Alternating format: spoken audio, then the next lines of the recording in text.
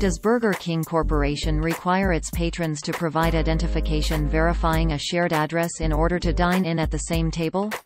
No, that's not true. While the Canadian province Manitoba implemented such a COVID-19 policy for restaurants, that is not a Burger King corporate policy.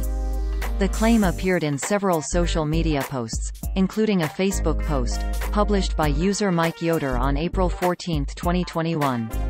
The post featured an image of a sign attributed to Burger King, which stated, quote, Dear Dine, in guest, please be informed that under the current public orders, effective immediately, we require each guest to provide photo ID to verify same household address before dining in the same table.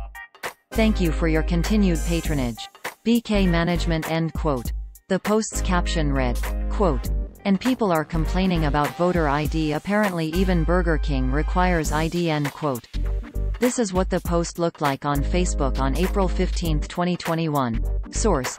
Facebook screenshot taken on Thursday, April 15, 19 hours 16 minutes and 27 seconds 2021 UTC. In the United States, Republican-controlled legislatures have been criticized by President Joe Biden, voting rights advocates, businesses and even celebrities for enacting tougher voter qualification laws. Following the accusations of election fraud that plagued the 2020 U.S. presidential and U.S. Senate elections, states like Georgia enacted new laws concerning voter identification. However, the voter identification laws in the United States are not the same as identification requirements in Canada, where the Burger King in the post is most likely located.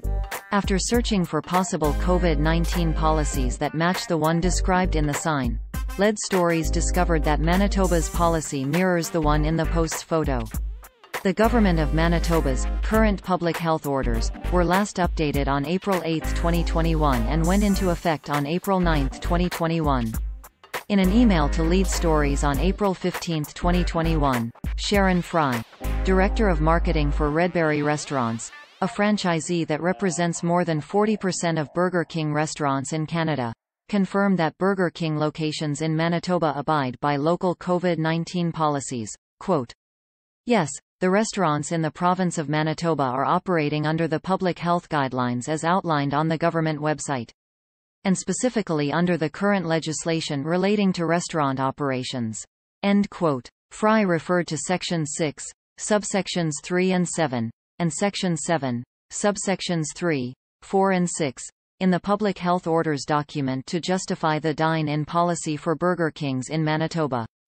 Screenshots of both of the sections, which appear in the document in both English and French, are included below. Source. Screenshot of Manitoba Public Health Orders. Section 6 taken on Thursday, April 15, 18 hours 20 minutes and 29 seconds 2021 UTC. Source. Screenshot of Manitoba Public Health Orders. Section 7 taken on Thursday, April 15, 18 hours 26 minutes and 52 seconds 2021 UTC. Lead Stories also contacted Burger King Corporation using its global communications contact information to verify whether the sign was real. The corporation could not verify if the sign was actually put up at any of its locations. However, in an email to Lead Stories on April 14, 2021, a Burger King spokesperson confirmed the ID policy did not originate with Burger King. Quote, We're quickly working to investigate the origin of this sign and restaurant location where it may have been posted. This is not a policy that we've put in place as a brand. We do, however, encourage our franchisees to follow locally mandated COVID-19 protocols in the areas in which they operate. We are working to learn more and will share an update as we do. End quote. Lead Stories was not able to identify the exact Burger King location that displayed this sign.